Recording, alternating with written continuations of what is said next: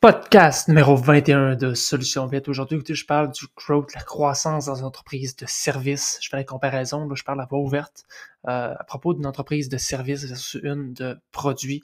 La croissance, quand on commence à aller en deuxième vitesse, en troisième vitesse, comment on fait pour que ça grossisse, la boule de neige continue tout le temps de grossir? Donc, euh, c'est ça aujourd'hui. Bon épisode! Alors, aujourd'hui, on va parler du scale pour une entreprise de service. J'écoute beaucoup les dragons. Je ne sais pas si vous connaissez l'épisode de l'émission à Radio-Canada. Puis là-dedans, on voit souvent des entreprises qui sont en lancement, sont en start-up. Mais rapidement, on voit des chiffres que première année, bon, deuxième année, ces entreprises de produits, qu'une fois qu'ils ont le produit, les autres, il n'y a plus de limite.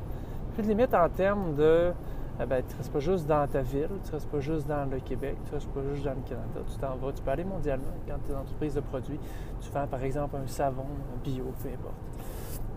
L'entreprise de service, la différence est que au début, quand on commence, on n'a pas le choix d'être dans notre secteur d'activité. Exemple, la ville de Québec. On peut grossir tranquillement, on va aller chercher les vies, on va aller chercher d'autres secteurs aux alentours, mais l'entreprise de service, quand elle commence, n'a pas le choix d'être uniquement dans son secteur d'activité. Puis je réfléchissais à ça, puis c'est souvent des entreprises de produits qu'on voit justement au Dragon. Puis les entreprises de service, j'ai cherché, j'ai cherché, j'en ai pas vraiment trouvé, sauf une. L'entreprise Sévère, je ne sais pas si vous la connaissez, ils sont dans la fertilisation, eux autres. Euh, autrement dit, traitement de pelouse euh, contre les euh, mauvaises herbes, ce genre de choses-là. C'est intéressant parce que c'est une entreprise de service comme nous autres, comme l'entretien extérieur, comme tout ce qu'on connaît, ce qui est rattaché. Donc, je trouvais ça intéressant. Je disais, écoutez, puis les deux gars super sharp, super jeunes, je pense qu'il y en a qui avait 22 ans. Puis ils font déjà dans le au-dessus du million de chiffre d'affaires. Puis ils viennent de commencer, littéralement. Mais la différence est que encore là, je retourne au dragon, puis au produit versus les services. Puis comment qu'on fait pour justement se démarquer en tant qu'entreprise de service, tandis que le produit, lui, il n'y a pas de limite. C'est-à-dire qu'il n'y a pas de barrière de langue, il n'y a pas de barrière de, euh, de région. Peu importe. Il peut aller à terre, il peut grossir, il peut s'expandre. Tandis que l'entreprise de service, souvent, problème qu'on va faire face, c'est qu'on va rester dans notre secteur. Puis l'expansion est plus difficile. L'entreprise peut être super bonne, c'est-à-dire dans la ville, exemple, de Québec. L'entreprise est super connue, super bon review, super tout, tout, tout, tout, tout est là, mais l'expansion est plus difficile que l'entreprise qui a un produit. Mais pourquoi? Je me suis dit, pourquoi justement l'expansion est plus difficile? je me suis euh, penché là-dessus puis je, retourne à Sévère. Si euh, vous ne connaissez pas, regardez sur les réseaux sociaux. C'est la lettre C, V-E-R-T. Sévère. Puis c'est super intéressant. Les autres, je les vois. Ils sont vraiment dans le. Ils font de la publicité dans le display. Puis c'est intéressant de voir justement leur manière, leurs approches. Là, ils sont dans une phase agressive de ce que je peux voir. Ils sont partout. Ils cognent partout, justement, en marketing. C'est intéressant de voir ça parce que c'est pas eux autres, les gars, je les connais pas, mais ce sont pas dit parce qu'ils ont une entreprise de service qu'on va pas aller chercher une expansion, qu'on va pas aller chercher des vrais, des vrais bons chiffres. OK? on peut retourner dans notre industrie, lavage de vitre, avec euh, Adrien Barbès, épisode 10, qui est peut-être pas nécessairement la plus grosse au Québec, mais qui est une des plus grosses que du moins moi je connais. Entreprise de lavage de vitre. Puis, ce qu'il nous disait dans l'épisode 10, allez la réécouter c'est qu'en 2021, il a atteint le cap d'un million de chiffre d'affaires. Mais quand il pense, c'est vraiment, c'est beaucoup d'efforts, sérieusement, pour aller chercher un million. Il, y a de la main-d'œuvre, il y a du staff, il y a un back-end en arrière de ça, lui, là, Adrien. Puis ça fait depuis 25 ans, si je ne me trompe pas, que Vitronet fonctionne.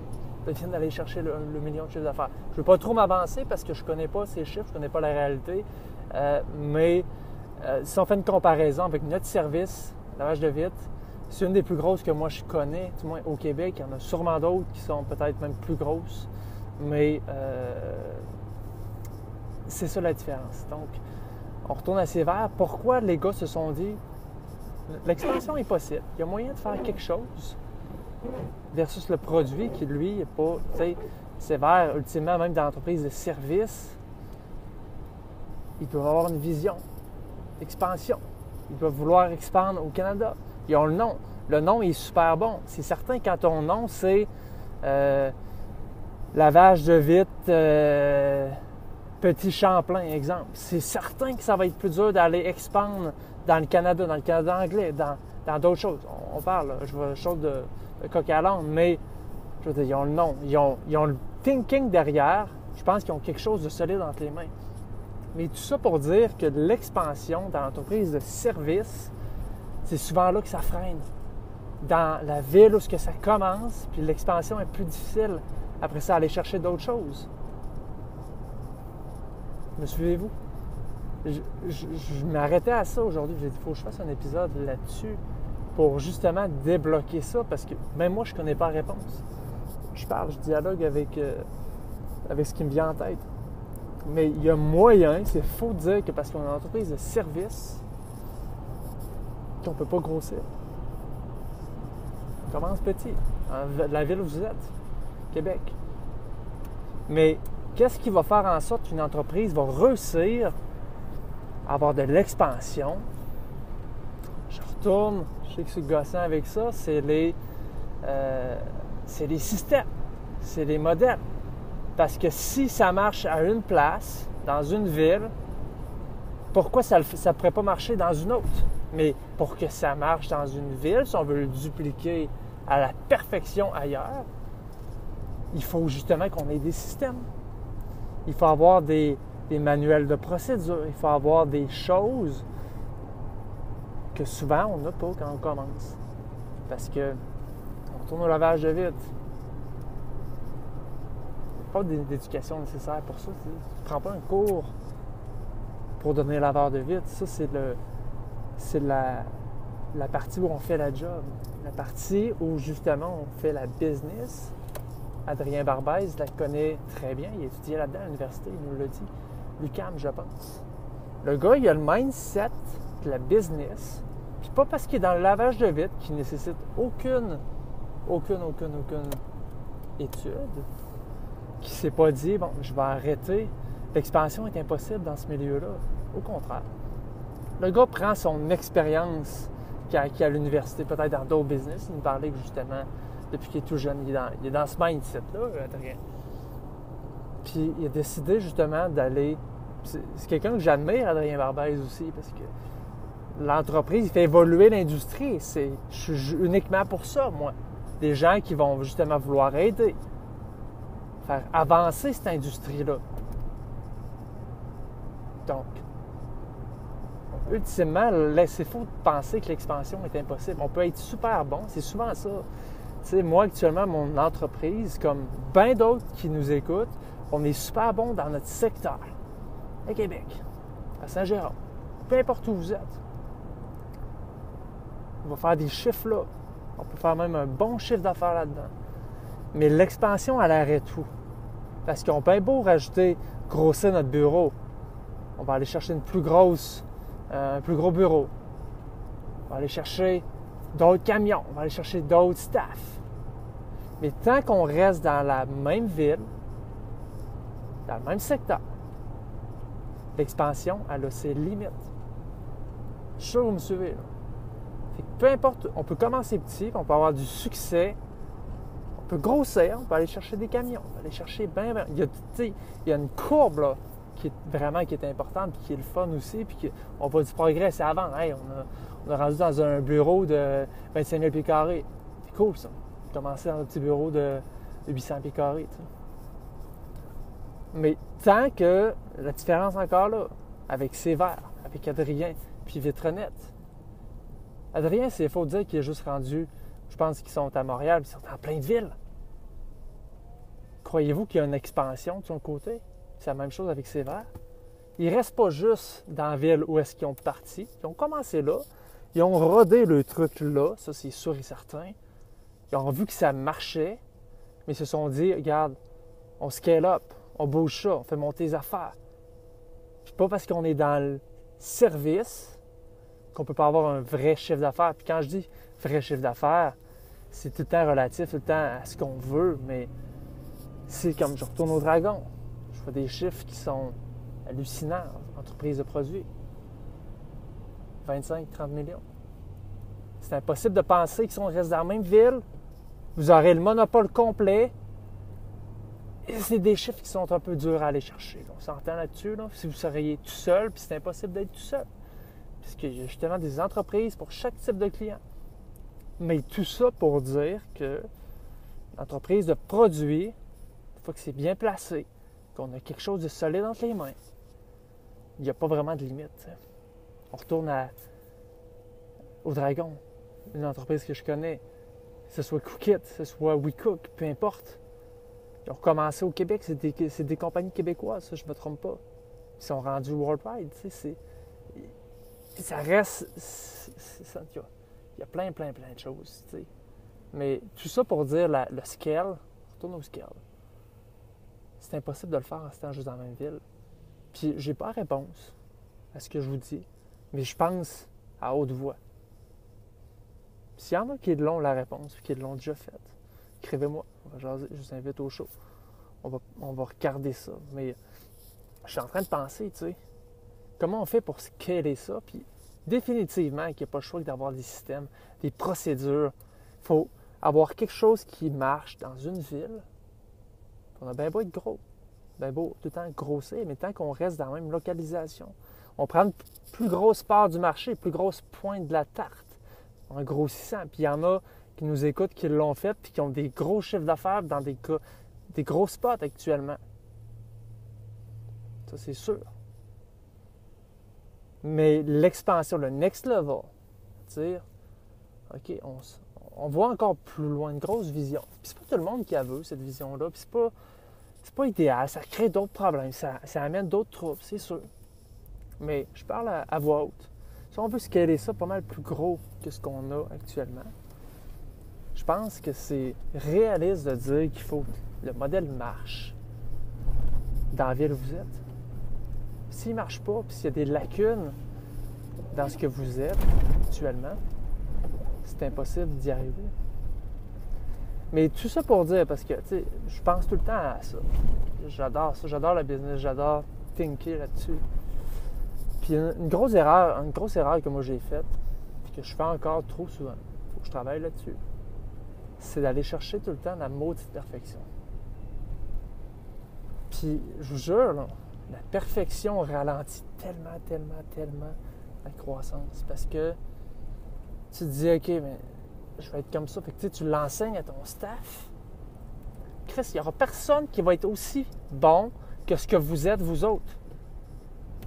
Il n'y a pas autant d'intérêt à ce que ça soit aussi beau, que ça soit aussi clean.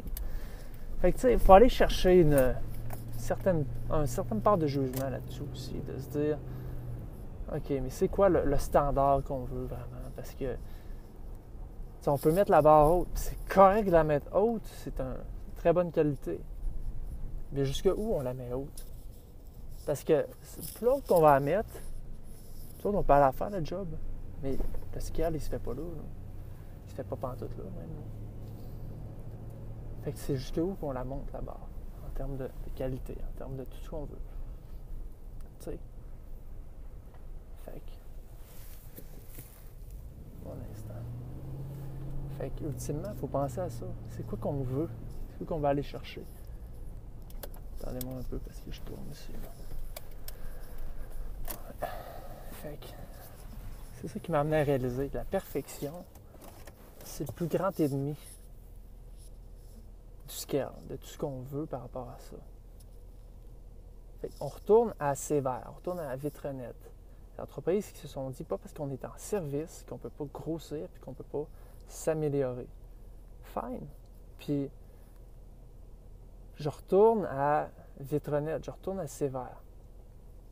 Puis moi, je suis quelqu'un, encore je dis, un gros problème de perfection, trop, trop vouloir que ce soit tout le temps parfait.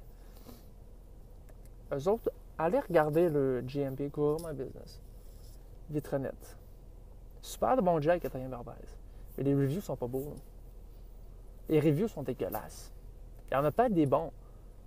Il y en a peut-être. Y en a sûrement des bons, en fait. Mais je vous dirais de manière générale, c'est pas beau à voir quand on lit les reviews. Mais ça a l'air que c'est pas ça qui arrête ces gars-là. Même chose pour euh, C'est pas tout le temps chic les reviews. Là. Prenez le temps, arrêtez-vous. Cliquez. Regardez les, ces genres de business-là, le nombre de, reviews qu'ils ont. Puis le type de reviews qu'ils ont. C'est spécial à regarder parce que tu dis, moi, je me, mets, je me mets à la peau du consommateur. Je, vais aller regarder avant d'engager quelqu'un comme ça. Je vais aller regarder c'est qui business à qui je fais affaire. Puis, j'ai l'impression que ça, commence à s'améliorer pour Vitronet, mais par le passé, c'était pas chic. Puis ça ne l'est pas encore. J'ai regardé, je pense, la dernière fois, fin 2021. C'était vraiment lettre. Là. Mais les gars font des chiffres pareils. Il, a tapé le million. Pas parce que, justement, c'est pas parfait. Tout, ce que je veux dire, c'est la même chose avec Sévère. Les gars sont dans le scale. Puis c'est sûr que ça sera pas parfait. Mais ils travaillent là-dessus, petit peu à petit peu, à gauche, à droite. Ils vont aller améliorer, ils vont aller tweaker certaines choses pour que ce genre de commentaires-là réarrive pas. Mais c'est souvent ça que justement, nous autres, quand on reste petit, on fait attention, hey, je veux pas avoir de mauvais review, je veux pas. Mais dans l'expansion, dans le growth, c'est impossible. Si on n'est plus tout seul, si on est tout seul à aller le faire, tu sais, fine, il n'y a pas de trouble. On va gérer ce genre de choses-là. On va le gérer, le client, on va le gérer, on va, s'assurer de ne pas laisser une, job de mal. Mais quand tu es dans le scale, puis tu as bien beau les toutes les meilleures procédures du monde. Tu as, beaucoup de main-d'œuvre, tu as beaucoup d'employés, tu as beaucoup d'équipes. C'est sûr que ce genre de choses-là arrive. Qu'il y a une bad luck qui arrive. Qu'un gars se, lève du mauvais pied ce jour-là, puis ça, part en vrille, tu sais ça peut arriver et ça va arriver. Tout ça pour dire que la perfection, ça nous ralentit tel, tel, tellement, tellement, tellement, tellement. Je veux dire, allez voir ça, c'est vert. Vitrenet, check les reviews. Moi, je me mets à la place du consommateur, je, ne connais rien de l'industrie, j'engage pas Vitrenet. Puis, c'est encore là, c'est un coup de dé parce que ça se peut que l'équipe qui viendrait cette journée-là soit top-notch. Mais parce que moi, je vais me fier justement à ce que je vois en ligne, parce que je cherche. Je, suis un consommateur qui est comme ça. Je lis ça, la, chienne me pogne, là. Je ne ah, veux pas qu'il m'arrive ça. Je suis de même parce que je, je vise trop à perfection. Puis c'est quelque chose, faut, c'est correct de vouloir la perfection, mais à quel niveau, tu sais? On peut la gérer, on peut travailler ça, mais je vous le dis, la perfection, ça ralentit le growth. Ça, c'est sûr. à un certain point, il faut que tu te dises, OK, c'est bien beau de gérer la perfection, c'est bien, beau de gérer tout ça. Mais si on veut faire des vrais chiffres, quand je dis vrais chiffres, c'est le million et plus. C'est pas, tu sais, une localisation, peu importe. Peut-être qu'il y en a qui vont être heureux avec, puis je vous dis pas que c'est, c'est, la, la réponse à tous vos, problèmes d'aller chercher un chiffre d'un million, même si vous avez, vous finissez avec 12% de profit net. T'es pas mieux, là. Euh, une entreprise qui fait 250 000 et qui fait un 35% de profit net, c'est quasiment pareil, là. Au final, ce qui reste en poche. Mais on retourne au scale, au growth. Puis, je parle encore à boire parce que j'ai pas la réponse. Si vous l'avez, écrivez-moi, parlez-moi, on va jaser, on va dialoguer. Ça ferait plaisir. Mais l'entreprise de service versus l'entreprise de produits, c'est beaucoup plus rare qu'on voit des grosses scales comme ça. Puis il y en a dans l'entretien extérieur. Regardez juste à Toronto. J'ai le nom qui m'échappe. C'est men with skilled que vous devez connaître. Ils ont carrément des, des des robes. Les hommes, femmes, ils ont des robes. Puis ils lavent des vitres comme ça. C'est particulier, mais ils sont en modèle de franchise, eux autres. Puis je vous jure, dans le Canada anglais, ça grossit à vue d'œil. Puis en arrière de tout ça, c'est pas du monde qui ont commencé par. Peut-être, je ne connais pas l'histoire, puis je vais pas m'avancer là-dessus, mais c'est du monde qui ont la mentalité de la business, qui savent comment scaler les affaires, qui contrôlent le crayon, tu sais. Personne en arrière de ça, là. Ils savent manier le crayon pas mal, pas mal mieux que le squeegee. Puis c'est une métaphore, encore une fois, parce que c'est la même chose. Regardez juste les petits garages. petit garage du coin. Il y a, 10-15 ans. On voyait pas de point S. On voyait pas de des franchises qu'on voit aujourd'hui. Je ne les connais pas trop, mais je sais que Point S, quand même, qui sont rendus gros partout au Québec. Il y a 15-20 ans de ça, on voyait jamais ça. C'était tout un petit garage du coin. Bon lieu garage du coin, mais le monde se faisait crosser. Puis c'est pas tout le monde qui se faisait crosser. Il y en avait des bons travers de ça, mais il y a des personnes qui sont arrivées avec le mindset business.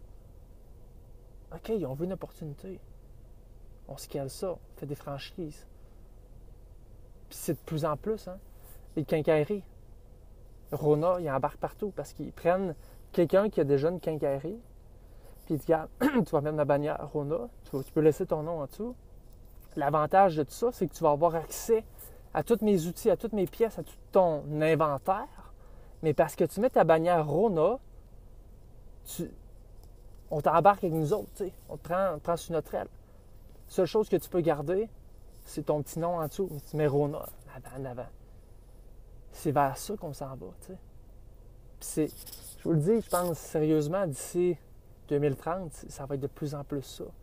Il fait faut au plus vite sortir la tête de l'eau, puis il va tout le temps en avoir des petits. Ça va être de plus en plus tough. Puis, tu sais, je veux dire, peut-être qu'effectivement, c'est pas ce que vous voulez, mais sur papier, c'est vers ça qu'on s'en va. Puis, je suis pas le, le prophète qui voit dans l'avenir, mais si on regarde les dernières années, c'est des modèles de franchise qui arrivent de plus en plus. Peut-être les restaurants, les quincailleries, les garages. Fait que le modèle de franchise explose actuellement. Il y a plein, plein de choses, spécialement en temps de COVID, qui vont changer. J'en ai parlé dans les autres épisodes. Carte de crédit, plein de choses. Il y a plein de, possibilités.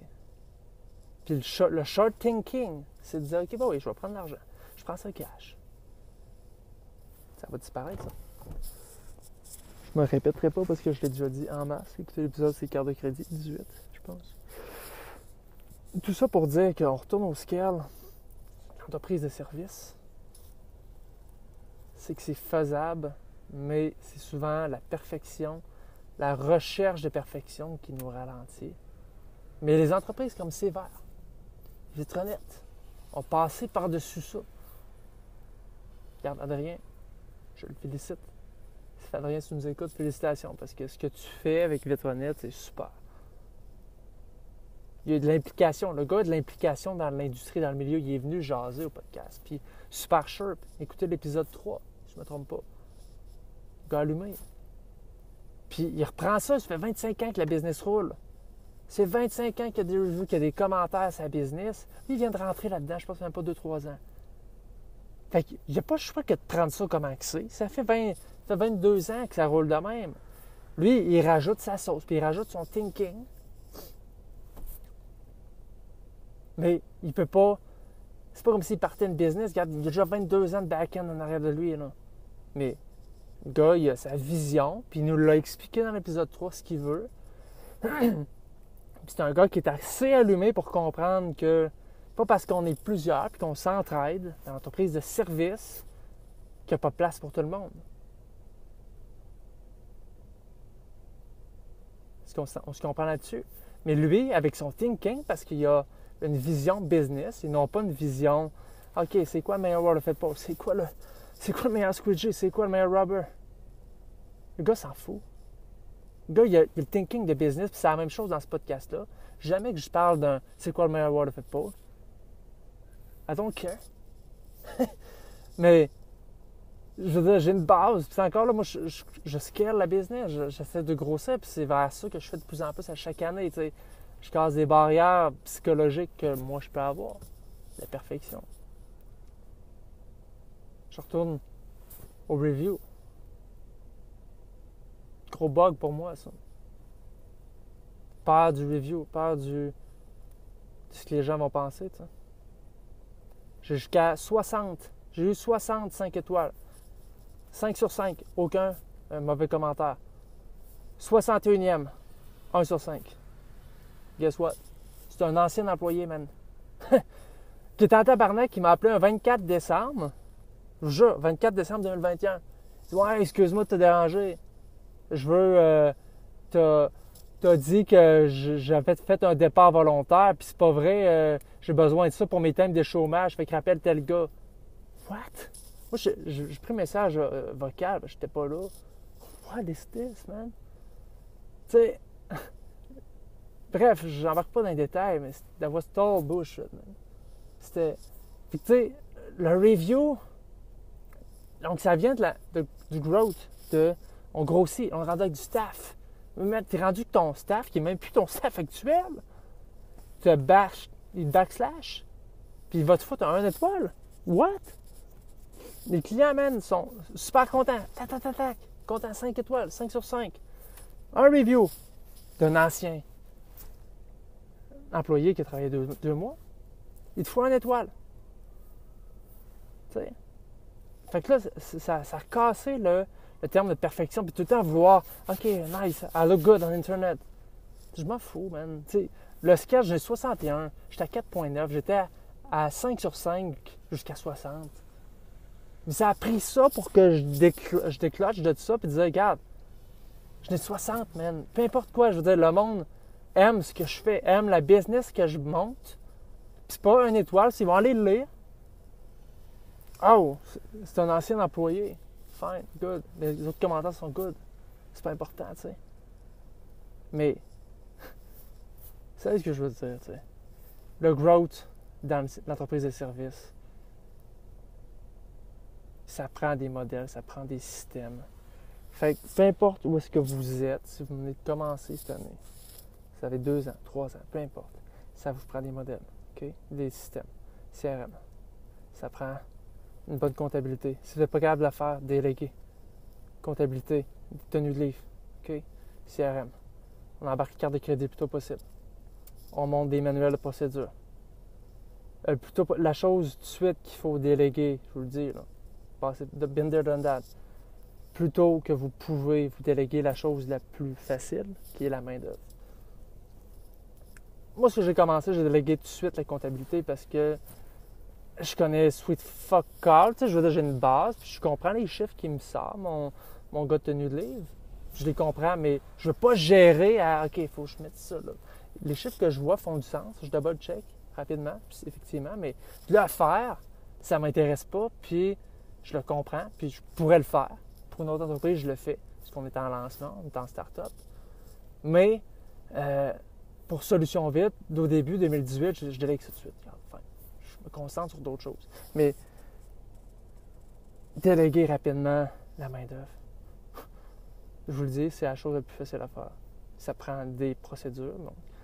Comment vous travaillez vous autres, vous l'expliquez à votre personne. Retournez euh, à l'épisode des formations. Tout est expliqué. Tout est expliqué. Vraiment, là, on délègue la main-d'œuvre as soon as possible. OK? Après ça, une fois que la main-d'œuvre, vous allez encore en faire. Mais tant que vous êtes sur le field, parce que vous avez pas.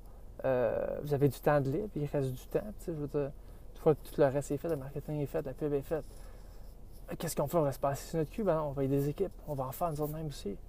Mais votre thinking doit être à OK, j'ai genre j'ai trois heures par jour à cette heure que je peux encore aller aider mes gars. Mon but, c'est de le descendre à zéro heure. C'est descendre que je sors du field. I get out of the field. Comment on fait pour ça? C'est qu'on on va aller tweaker notre marketing, on va aller tweaker tout, tout, tout, tout, tout.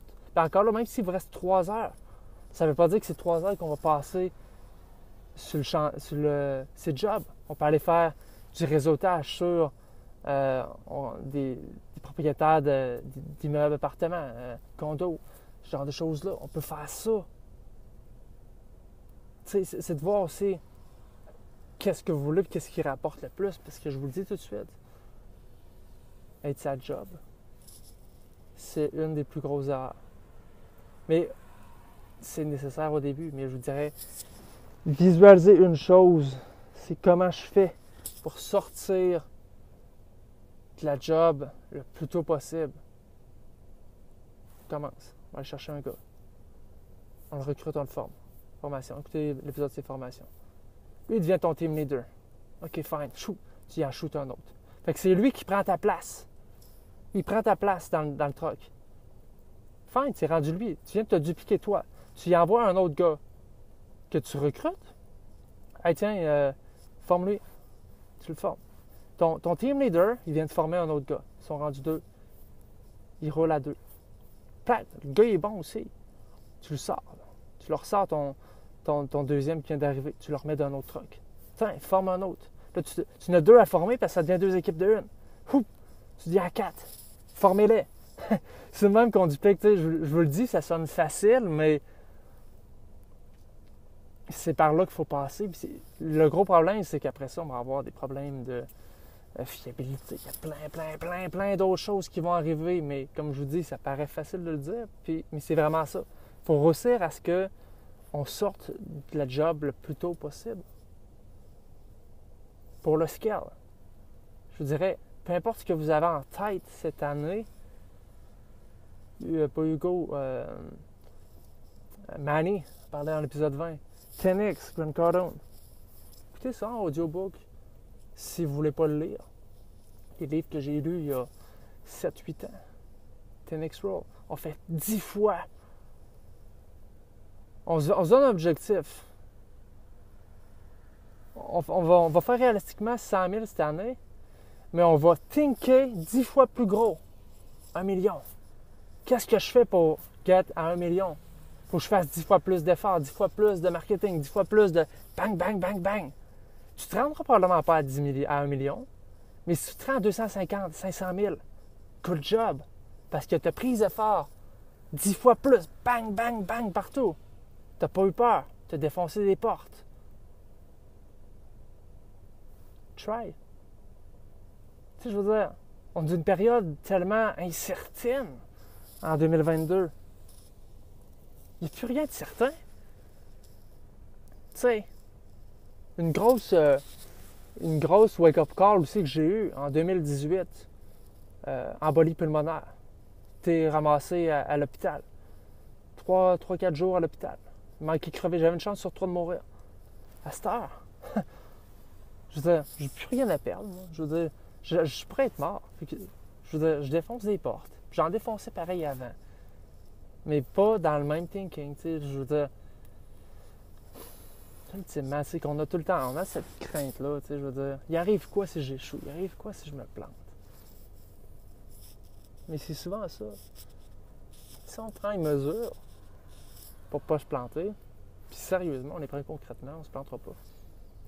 Prenez ressources, essayez toutes. Vous vous planterez s'il faut. J'aime mieux me planter en ayant essayé pour vrai. All in, 100% tout que de, que de même pas essayer puis me dire, ouais, parce qu'il y avait des chances que je me plaçais pas le bon timing. Tu sais, avec le COVID, euh, ouais, je restais à ma job. Vous savez, juste le moindre intérêt pour la business. Tout est, sur Internet, comme Manny nous disait. Épisode 20. On est d'une sphère d'information en 2022. Il y a tellement d'infos. Tout est accessible. Tout le monde. C'est impossible de dire que si tu as toute ta tête, tu es lucide, tu es allumé moindrement, tu ne peux pas réussir en affaires. C'est impossible. Aujourd'hui, c'est impossible même. C'est pas comme dans les années 70, il fallait que tu ailles ouvrir un livre, il fallait que tu. Tu sais, je veux dire, le thinking était beaucoup plus petit. En 2022, c'est worldwide, let's go. Tu, peux, tu parles à plein de monde, il n'y a pas de limite. Mais. On, est encore restreint. Je veux dire, il y a d'autres patterns qui embarquent. On est dans. Ok, je. Il y en a dans notre industrie, je joue, je, je, pardon, joue aux jeux vidéo tout l'hiver. Fine, ça, peut être correct, c'est peut-être ça que tu veux aussi. Mais moi, je suis dans growth, thinking, big. Il faut faire des moves comme ça, passer des choses. Puis comme je vous dis, j'ai pas la réponse, je la connais pas. En date du, on est quoi, le 26 février 2022. Je, je le lance là, tu sais.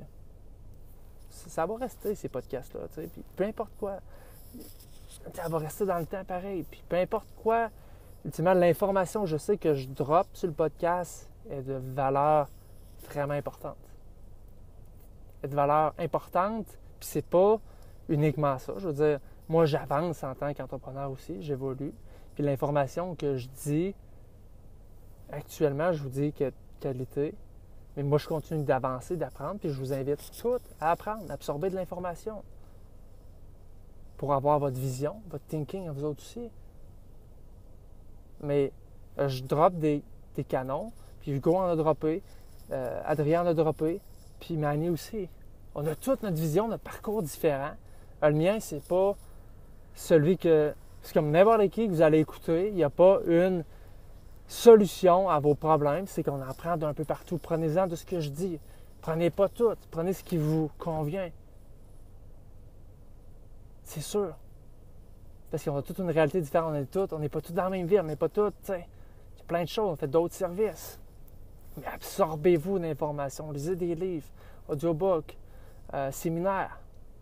Il n'y a pas de limite 2022. Si tu veux réussir en affaires, tu peux. C'est sûr. On retourne au, scale, au growth dans l'entreprise de service. C'est faisable, ça prend des systèmes, ça prend tout ce que j'énumère depuis le début de ce podcast-là ça prend ça, c'est qu'on ne veut pas le faire. On a peur. C'est pourquoi. Mais essayez-le. Plus en plus, on s'absorbe l'information. C'est tout.